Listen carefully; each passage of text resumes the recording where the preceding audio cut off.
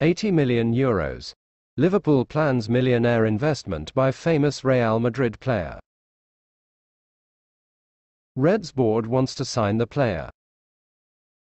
Liverpool has been going through days of ups and downs in the current season and the board of directors of the Reds wants to work so that this situation does not happen next season, and the managers have been watching the market looking for options that can qualify their squad, in order to provide better options for Jurgen Klopp in the hunt for titles.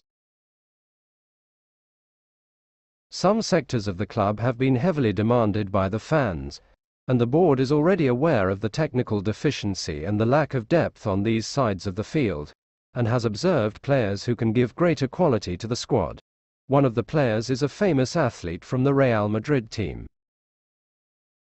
According to information published in recent days by the Spanish newspaper El Nacional, Liverpool's board wants to strengthen its midfield and believes that the signing of French midfielder Aurelien Tchouameni can help this sector next season. The midfielder has had a drop in performance this season, and this has displeased the Merengue board, which has not been satisfied with his performance and situation.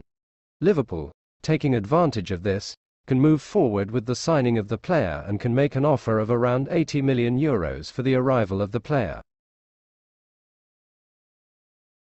Tchouameni at the age of 23, Tchouameni is Casemiro's replacement in the Merengue team and adds up to 35 matches played in the current season, most of them as a starter for the Merengue team.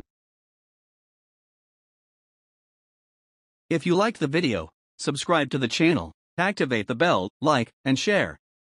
And don't stay out of Liverpool news.